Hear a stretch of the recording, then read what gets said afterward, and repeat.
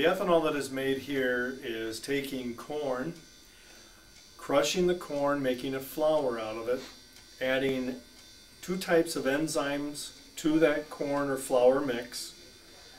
We go through a fermentation process where we add yeast to the uh, mix, or the mash is what we call it. That yeast then converts the starches into from complex sugars into simple sugars. And the simple sugars then are what's converted into make ethanol.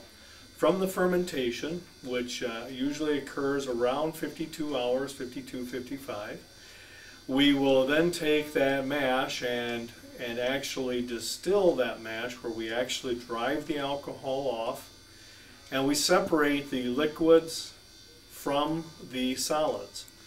The solids at this point are then uh, dried either through centrifugation or through dryers and then is processed as a uh, high protein feed ingredient for our livestock. The distillation process where the uh, liquid is uh, driven or separated away from the mash is then distilled, which is really what we're doing is pulling the excess water out to where we come up with a 200 proof product with, um, with all the water driven out of that uh, liquid mix. That is then denatured with uh, gasoline, natural gasoline. That denaturant then is uh, to make it void of human consumption.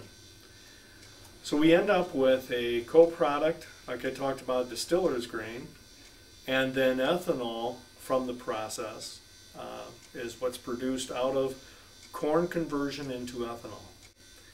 Then the ethanol is actually shipped to blenders throughout Michigan and actually uh, throughout the U.S. Uh, it depends on the month, but uh, somewhere probably 90% um, or above remains here within the state. The industry currently produce 5.4 billion gallons annually, and the 87 plants that are currently in production will produce another 6.4 billion gallons. I think it's 5.6 and 6.4.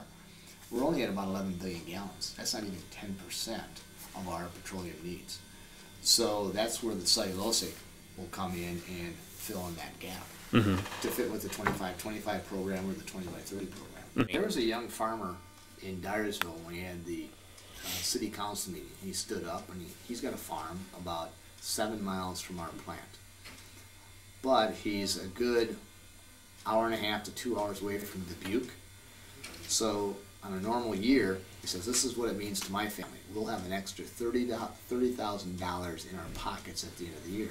I don't have I don't have the wear and tear on a semi and a trailer going to Dubuque. It's not going to take me six hours round trip to go there and come back.